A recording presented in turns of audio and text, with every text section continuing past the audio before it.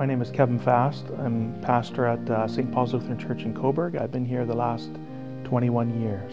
He took with him Peter, James, John, began to be full of sorrow and turmoil.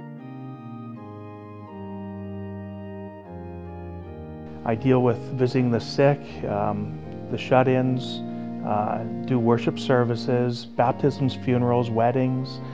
Um, that's my day job. And then my hobby is I like to do strength feats.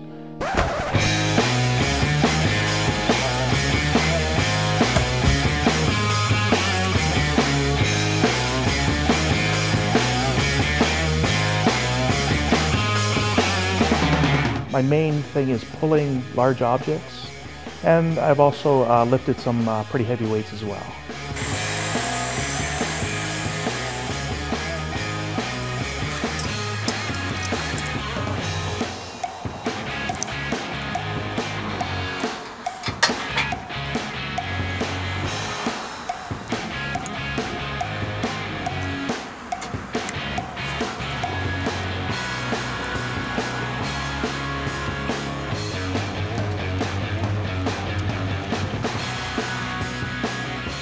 Most people uh, uh, in religious circles find it hard that I um, do all these feats of strength because there's um, um, a pastor is usually small, weak, uh, and hopefully a mighty speaker. My parishioners here at the church are um, always supportive.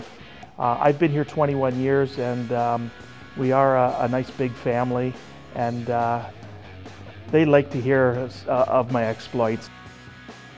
The greatest strength feat in my career to date, I would have to say, was the plane pull. It happens to be Canada's largest plane. It's called the C-17.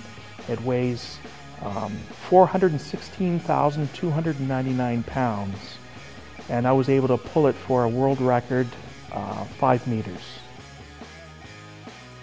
I've uh, set many records over the years. Uh, also, in addition to pulling a plane, I've pulled a full-size family house, the same size house I live in. Uh, I've pulled a, a, ship. I've pulled a train. I've uh, pulled just about everything. And fortunately, I haven't pulled any muscles. Okay.